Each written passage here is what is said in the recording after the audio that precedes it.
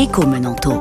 Alors Christian, depuis ce matin, on l'entend dans les différents rendez-vous sur RTL, les pros JO nous promettent une belle fête, Ouais. des jeux financièrement équilibrés. C'est crédible? Bah écoutez, la fête sera certainement très belle, mais et ces promoteurs nous garantissent de surcroît que des Jeux Olympiques à Paris seront sous contrôle et avec un budget global inférieur à 7 milliards. Alors il faut en prendre acte, mais on peut d'ores et déjà noter que cette facture fait l'impasse sur certains très gros investissements, ceux du transport et ceux de la sécurité par exemple, dont les montants sont en forte expansion. Et il faut bien reconnaître que le bilan de Londres 2012 incite quand même à la prudence. Il a été vendu ce projet à 4,8 milliards et ils auront finalement coûté 11 milliards. Vous savez, depuis 1988, toutes les Olympiades ont saigné les contribuables qui les ont accueillis.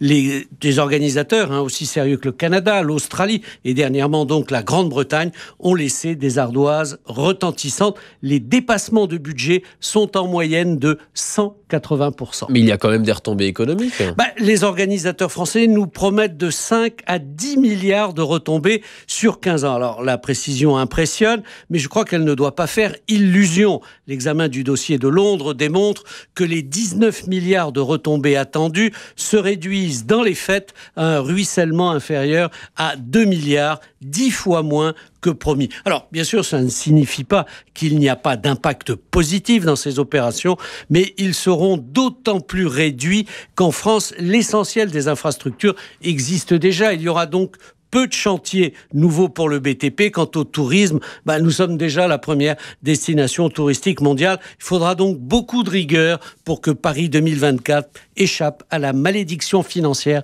qui frappe les Jeux Olympiques. Vos plus, votre Le- plus. Oui, le revenu fiscal de référence pour bénéficier de l'exonération de la taxe d'habitation est publié. 27 000 euros pour un célibataire.